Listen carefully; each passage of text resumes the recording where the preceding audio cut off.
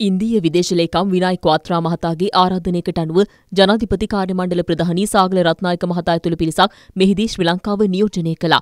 බිඳ වැටනු ශ්‍රී ලංකා ආර්ථිකය ප්‍රකෘතිමත් කිරීමේදී ඉන්දිය රජය ලබා දුන් සහාය අගය කළ සාගල රත්නායක මහතා ජාත්‍යන්තර මූල්‍ය අරමුදල සමග වන ශ්‍රී ලංකාවේ වැඩසටහනේ වත්මන් ප්‍රගතියද පැහැදිලි කළා. ශ්‍රී ලංකාව කඩිනම් ආර්ථික වර්ධනයක් අත්කර ගැනීමේ අවශ්‍යතාව පෙන්වා දුන් රත්නායක මහතා එහිදී ඉන්දියාව සමග පවතින ආර්ථික ඒකාබද්ධතාව වර්ධනය කර ගැනීම ශ්‍රී ලංකාවේ අපේක්ෂාව බව කියා සිටියා. දෙරට අතර පවතින ව්‍යාපෘති නියමිත වේලාවට ක්‍රියාත්මක කිරීම පිළිබඳ සාකච්ඡාවේදී අවධානය යොමු වුණා. සෑම කාර්තුවකදීම එහි ප්‍රගතිය සමාලෝචනය කිරීමටද මෙහිදී තීරණය කෙරුණා.